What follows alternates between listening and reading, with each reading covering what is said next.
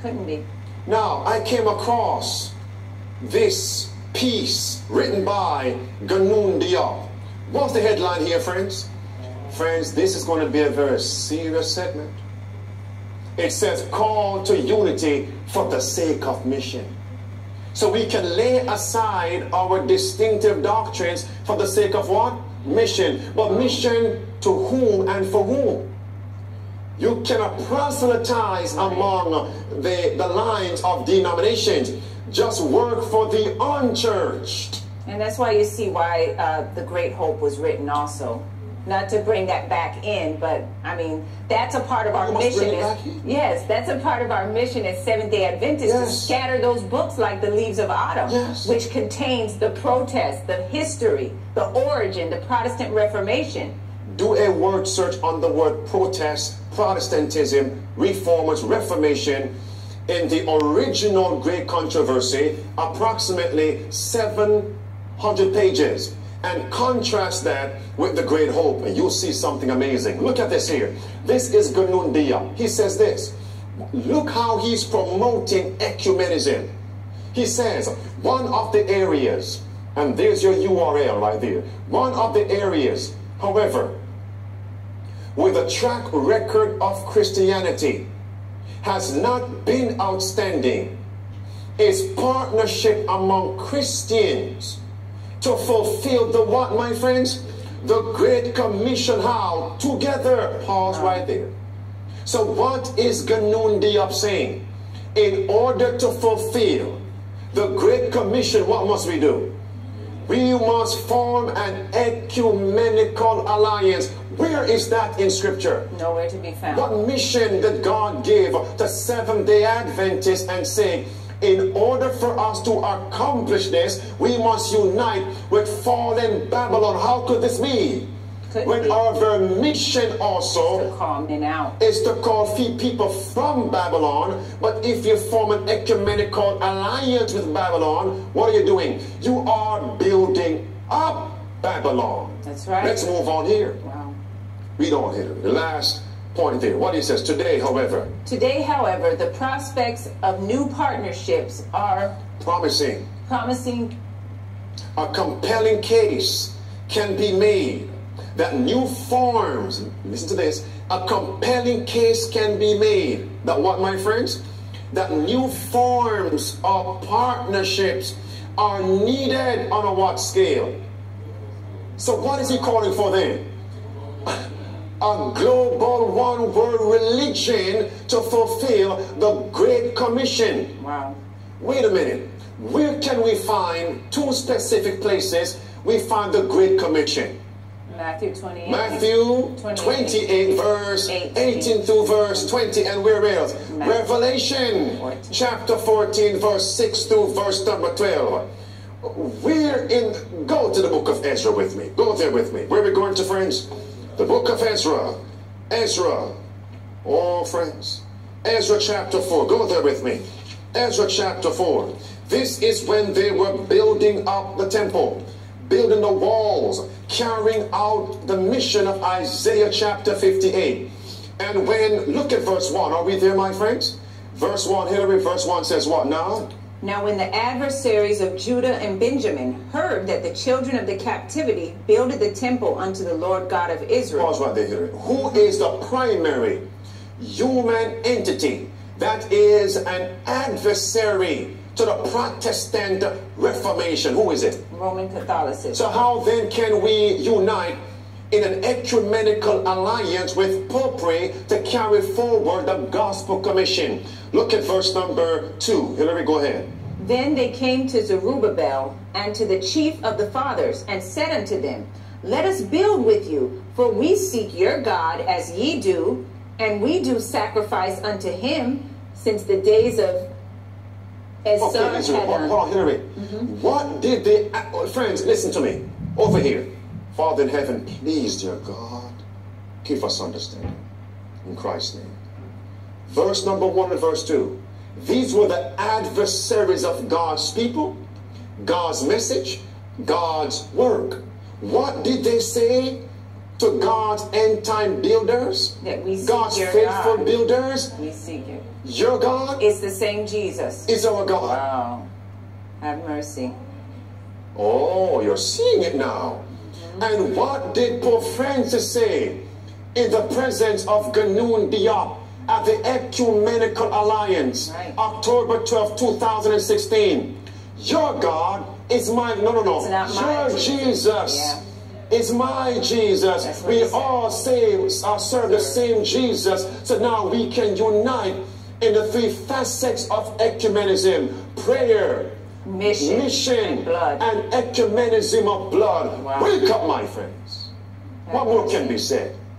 What more can be said? What did God's faithful builder say now? Verse number three, but Zerubbabel, Hillary, and Jeshua. And the rest of the chief of the fathers of Israel said unto them, Ye have nothing to do with us to build an house unto our God. He didn't say, you know, all of our God, our God, but we ourselves together will build unto the Lord God Praise of God. Israel. Praise God. Praise God.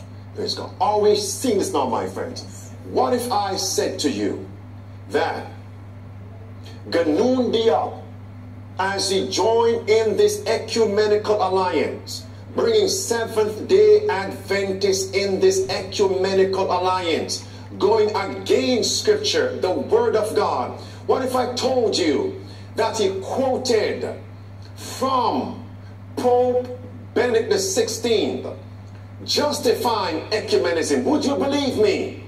Look at this. The same article, Call to Unity for the Sake of Mission. It says this the reality of Christian unity is a fulfillment of Christ's prayer, said Ganoune Diop, John 17. That connects, let's read, that connects Trinitarian Mercy. don't forget that.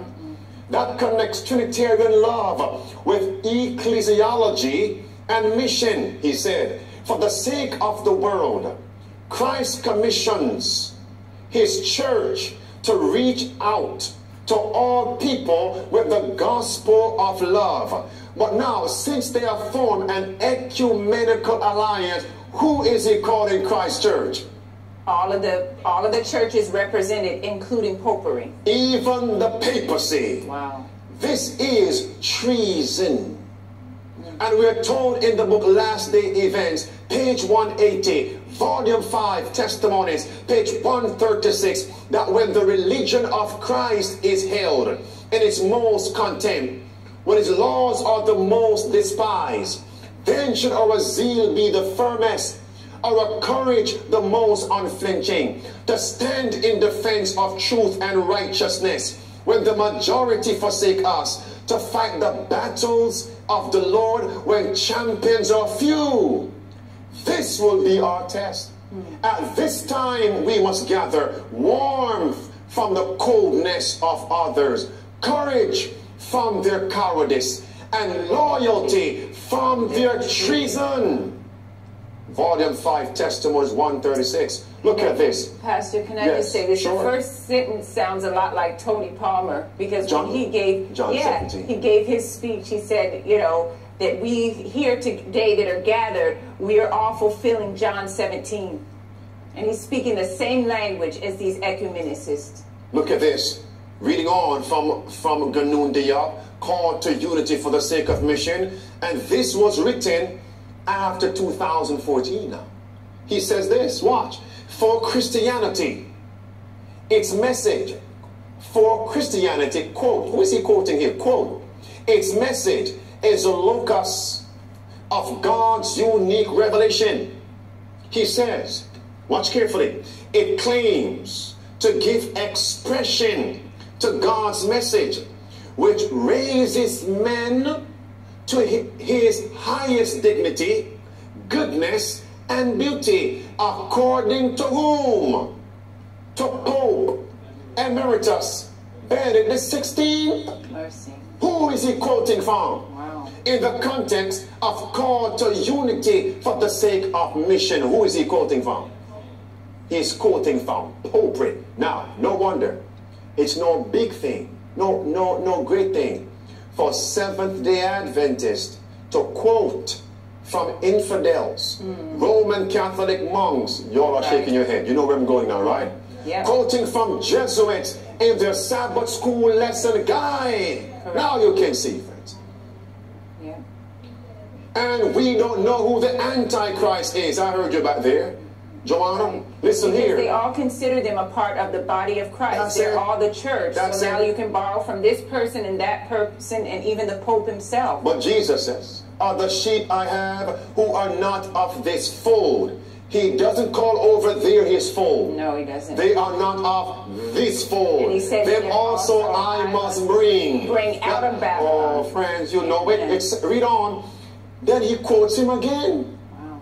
He says, watch, with reference, right here, red words, with reference to, let's read, with reference to the possibility of the what? The coexistence of truths. He, the Pope, adds, quote, he says, what now, friends? It is not the same thing to say that Christ is the Son of God in whom the full presence of the truth about God finds expression. And to say that what? Various kinds of truths are also present in what? Other religions. What is he saying? Wow. Other religions have what, friends? Have truth. Wow. So now unity for the sake of what mission. Then he ends by saying, the last sentence he says, watch carefully, the claim that God is present in Christ and that the true God himself thus appears and speaks to us in him does not rule out that the come on that what friends that the other come on that the other that the other religions also contain truths, but that is just the point. Truths that, as it were, point to the truth. Wow. It's an abomination stating the Roman Catholic Church have a system of truth that points to Jesus. Wow. When they point away from Jesus, right. because the Bible calls them the Antichrist. Antichrist, my You know something? Uh, a while back, you had shared a sermon from Alex Bryan, and he, he- you know, he's a member. Well, he's a part of the emerging church, and he believes in spiritual formation, etc. And he uh, showed the, these puzzle pieces, and he was basically saying that each puzzle piece Yes. represents a different denomination, and he said they all. Uh, make up this grant when you put them all together they all have a little piece of the truth but you can only see the full scope of the truth when you put them all together calling for ecumenism. That's why this man's writings belong in the trash heap. You know That's it belongs. It's an abomination, my friend. this this uh, idea though of unity for the sake of mission is not